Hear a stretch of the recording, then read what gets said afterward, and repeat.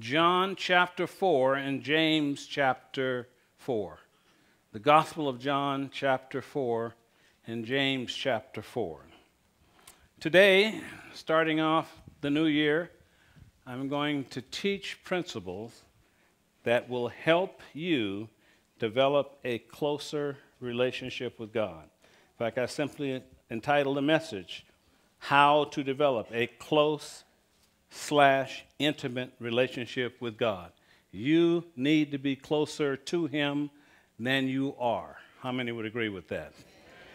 And uh, there, there are some reasons maybe that people are not close, and I'll go through some of them. I don't want to spend a lot of time on them, but there's, there's a couple of simple ones. You know, one thing I learned a long time ago if you want something, you'll get it. If you want something bad enough, you'll, you'll put forth the effort to get it. That's the way people are, you know. They say, well, Pastor, you know, I can't get off work to come to church. I guess what? When you want to get off work for a reason bad enough, guess what you'll do? You'll get off work. You'll find a way. You'll find a way to get the time that you need to do what you want to do. Because when people want to do something, wild horses can't stop them. People think the strongest thing in the universe is God. No, the strongest thing in the universe is your will. Because your will can stop God. And people don't realize that. Your will can stop God from doing some things in your life. Amen. Because God will never violate your will. That's what makes him God. He gave you a free will, but he won't violate it. But his desire is that you develop a close, intimate relationship with him. Now, I have so many notes, and the Spirit of God is going to have to help me because I've laid it out, but I get a little, I get a little uneasy sometimes when I start a message because I want to be in the perfect will of God. And I've long since learned that the perfect will of God is letting God do it and me not. So, you know, I lay it out. I go as far as I can take it, then I turn it over to Him. So let's, let's read our foundation scriptures and maybe a couple of others, knowing that where I'm going is teaching you how. See, there's always, teaching always involves a how. I can give you some information, I can tell you what it is, but you can't get blessed until you start doing what God says to do in His Word. So you need to know how to do it and how to do it correctly. Amen? Okay, John chapter 4. We read this part of this already. Verse 22 says, Ye worship ye know not what.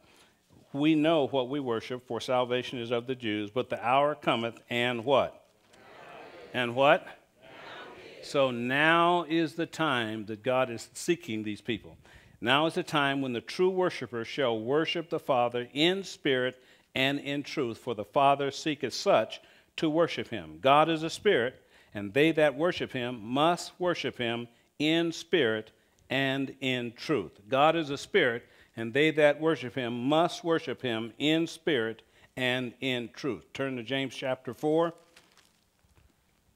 in James chapter 4. Just want to read one verse of scripture, verse 8.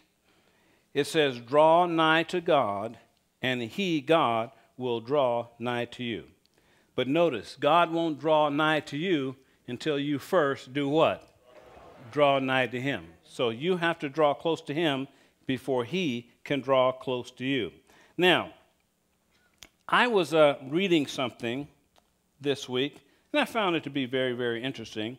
In the Old Testament, in the Old Testament, there were some things laid out in a way I had never seen it before. Uh, and it had to do with prayer. There are many words for prayer in the, in the Old Testament, but there's a section of Scripture where God was dealing with the people, and he talked about three things. There's, there's three Hebrew words. One of them was prayer, uh, and the Hebrew word used was talitha. Then the second word, which really surprised me because I had to take a lot of time to, to spend some time studying out and looking at it and seeing why God threw that word in there at that particular time. But the second word is repentance. The second word is repentance, and the Hebrew word there was teshuva. And then the third word had to do with the intent of the heart. The intent of the heart. And that word in the Hebrew was kavanah. So God was talking about prayer from the standpoint of prayer repentance and intent of the heart. And he was talking about people coming to him after they had repented. I say after.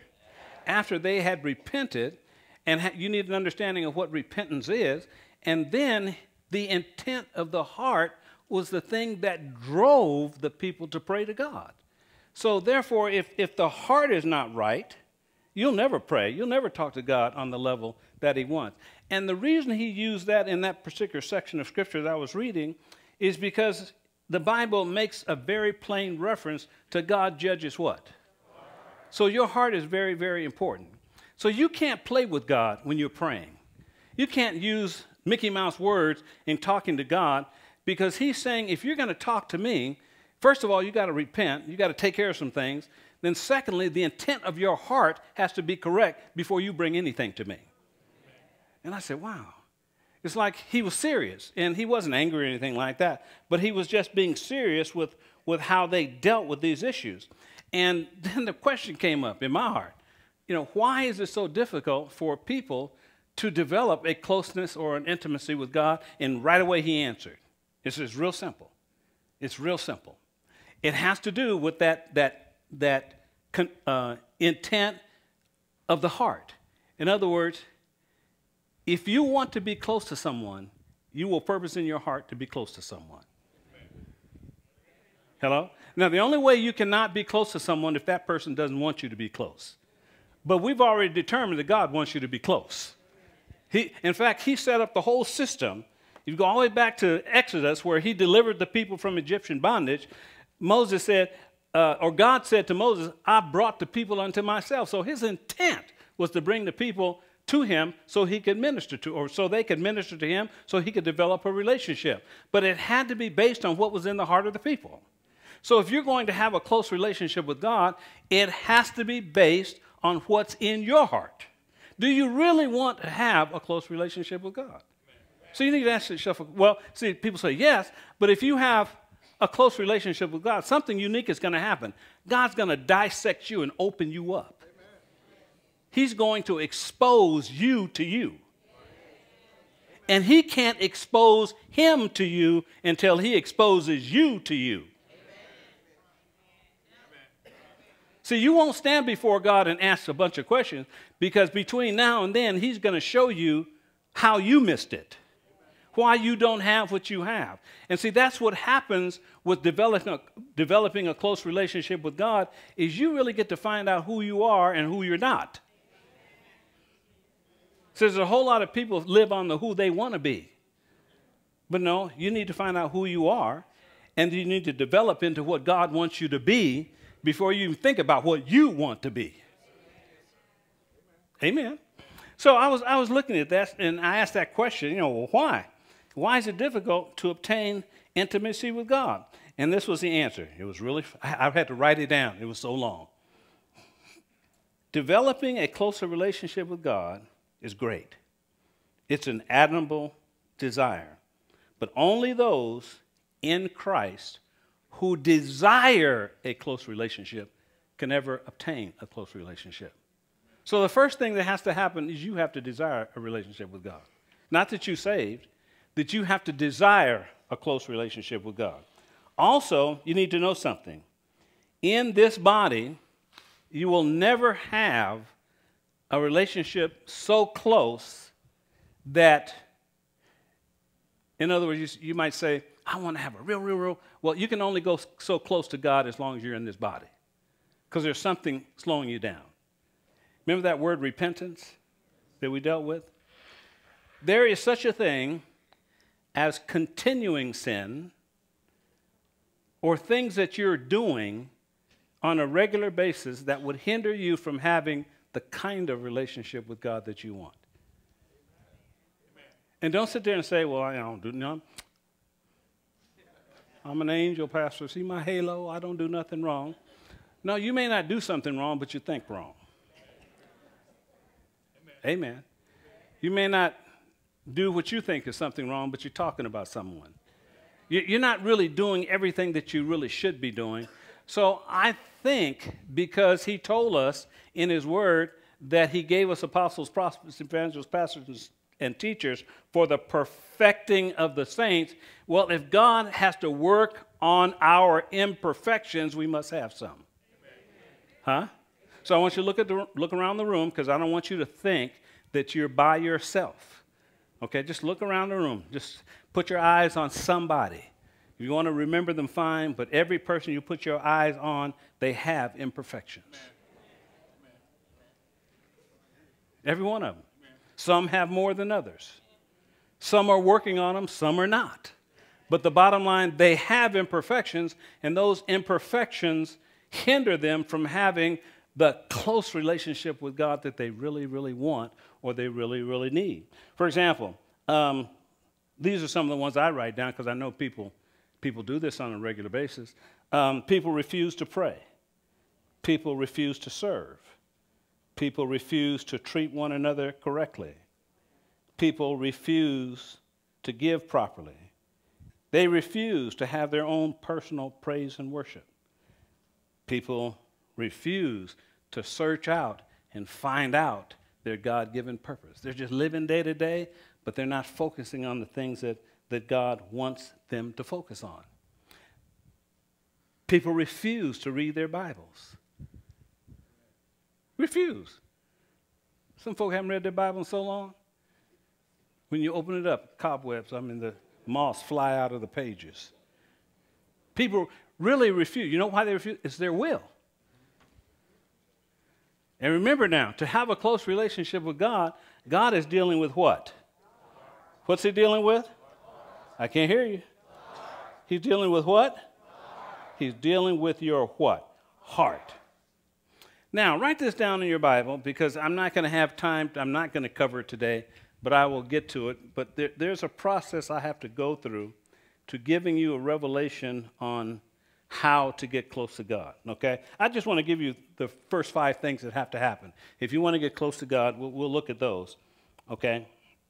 Number one, the first thing you have to do to get close to God is you must purpose in your heart to want to get close to God. In other words, there has to be a focus in your heart and mind of a desire to want to get close to God. That's number one. Something on the inside of you has to want to be close to that person.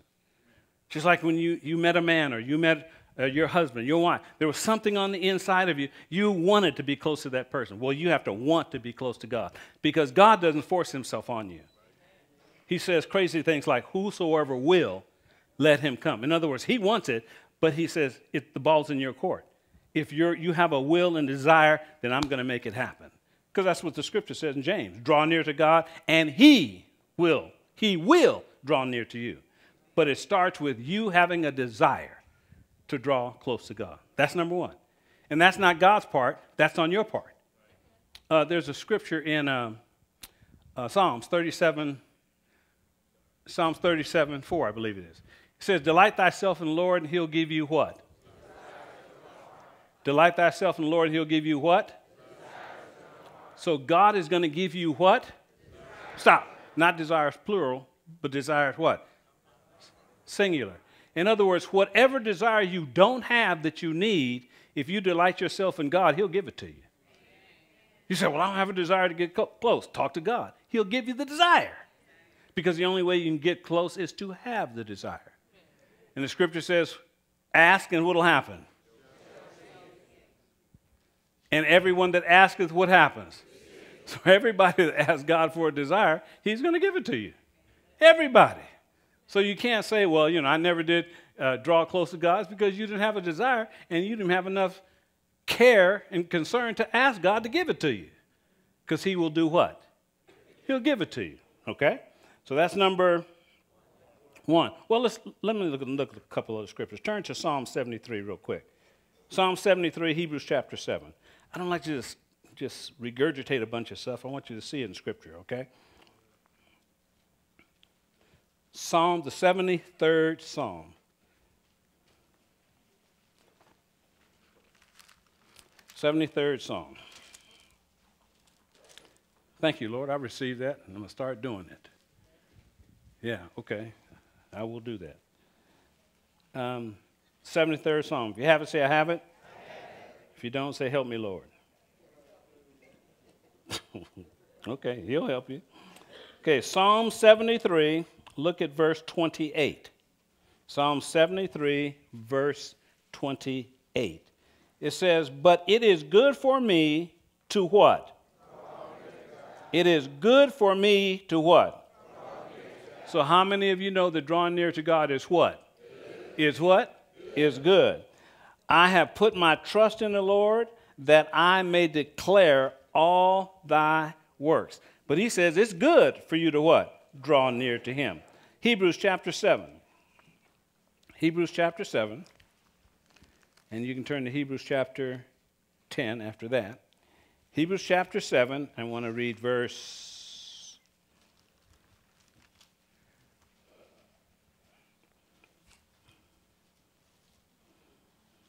Verse 18. Nope.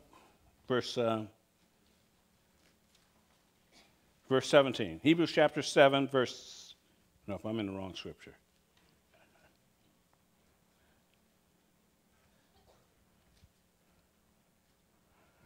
Um,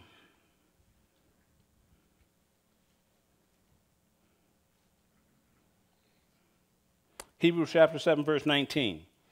It says, For the law made nothing perfect. That's the Old Testament. It didn't make anything perfect.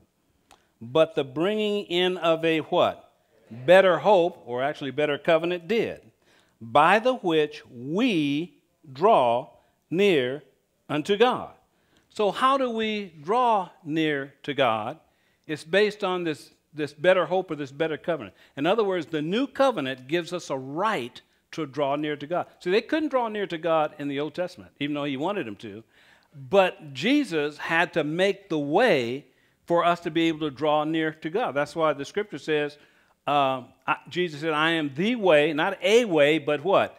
The way, the truth, and the life. No man can come to the Father but by me. In other words, no man can get close to God except through Jesus. It's the only way you can do it. All right?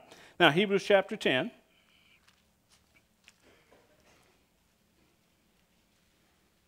Hebrews chapter 10, verse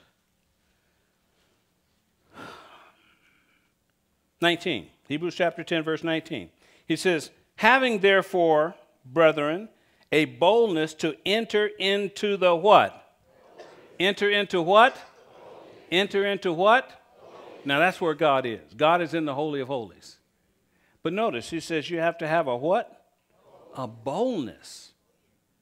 See, in the Old Covenant, they were scared to do that. They didn't want to, in fact, they didn't even want to enter the temple.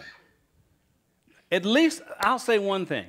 The people in the Old Covenant had enough sense to say, look, if I'm not right, I better stay away from God. Because, see, if they weren't right, they would drop dead. People today don't have that right. We, we have a grace and we have a, a freedom that actually too, too much grace and too much freedom. Because basically, people do what they want to do and they don't always do what's right. They don't always live right. I said they don't always live. Well, oh, let me ask a question. Do you always live right? I want to I want to meet the perfect person. You always do everything right. Every day, every hour, every minute, every second. You do what's right because that's what you want to do. I would like to shake your hand.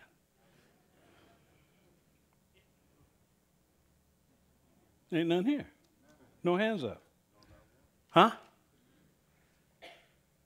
Hmm. I wonder why. Because Jesus said there's none perfect. No, not one. So if one raised their hand, we got to get rid of that person. We got to get him up out of here. Something wrong with that guy or woman. Amen. He says, having therefore, brethren, what? Boldness to do what? Enter in the holy. So you can't just enter in. You got to be bold enough to come into the presence of God. Okay, in fact, it says in Hebrews chapter 4 come how? Boldly to the throne of grace. So you can't go in there with your tail between your legs.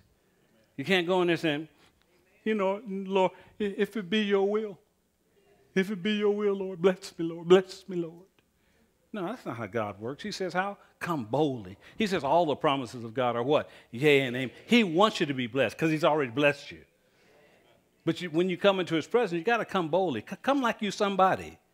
You're one of his children, so come like you. Look, when you go to your mama's house, you go straight to the refrigerator and open it up. Why do you open it up? Because that's your mama's house. And you think you have a right to go into mama's refrigerator.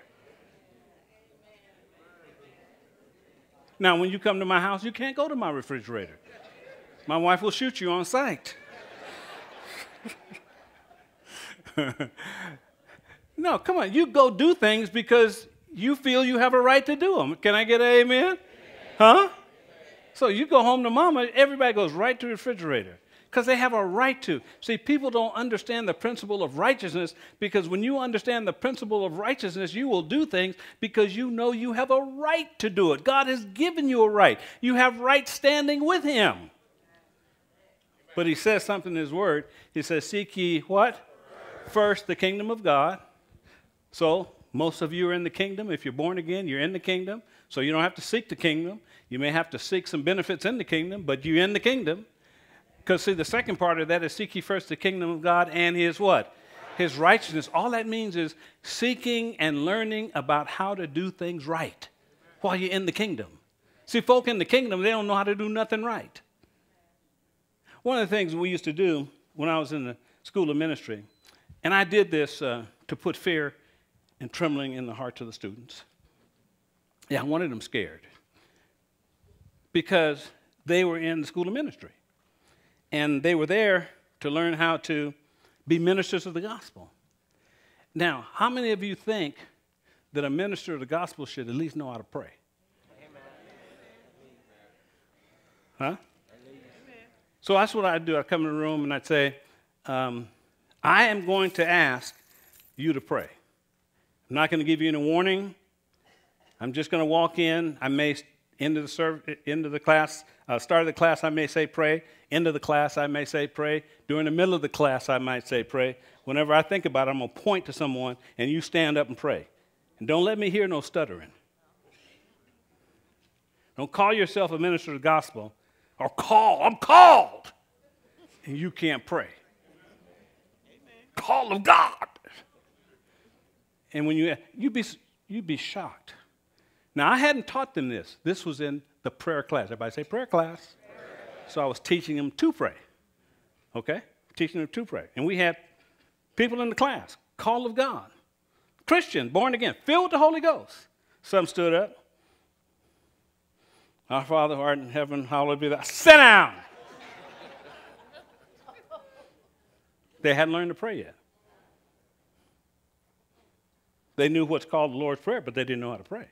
They knew how to quote some words from the Bible, but they didn't know how to pray. Hello? Amen. Huh? Amen. So when he says, Come boldly to the throne of grace, don't you think, as a man and woman of God that has a responsibility over people, that don't you think you ought to know how to pray? Yes, sir. Yes, sir. Huh? Yes, sir. Another. Uh, there people, if you're born again, raise your hand. See, some scared to raise their hand because they know what I'm asked next as a born again believer, as a born again, spirit filled believer, don't you think you should know how to pray? Yes. Huh? Yes. Now, if I did the same thing, I'm now see if I say, say that, then folk won't show up next Sunday. Know. I know. They'd be too scared. Pastor gonna point, point out folk to pray. Don't be hiding. see, you, you, you think that's not true. I did something once a few years ago, and um, if you're a Christian, aren't you supposed to do what the word says? Yes. What does it say in Mark chapter 16, verse 15? What's the first word?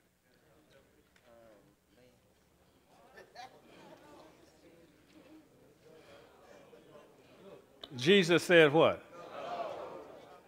Mark 16, 15 says, Go ye into all the world and do what?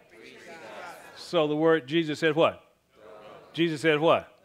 So every Christian is supposed to do what? So I said, one day, this is, I forget what year it was, uh, I was instituting the um, Go Ministry. So the first Sunday we did it, we planned it, we had some leaders uh, set up. We had a bunch of leaders set up. They had their teams. everything all set up. It worked out. And it was easy. In fact, it went so smooth, it shocked me. But anyway, we went out that Sunday. Whole church. I told them, come to church, be casual. That's all I said. Come to church and be casual. It's going to be a fun day. And they came to church. And when I, we, had a, we had a short service, I said, okay, we're getting ready to hit the streets. And when I say hit the streets, it was like I hit them in the mouth.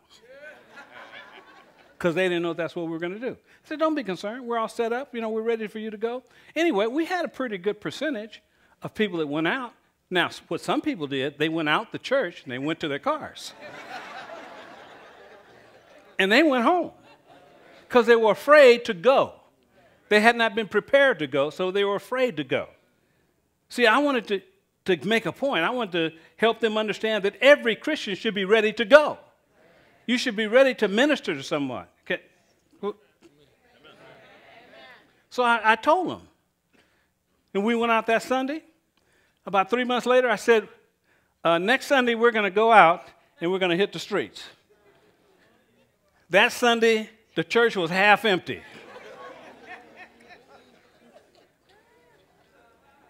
so I said, Lord, I got to figure out something else because this is, this, is, this is not working.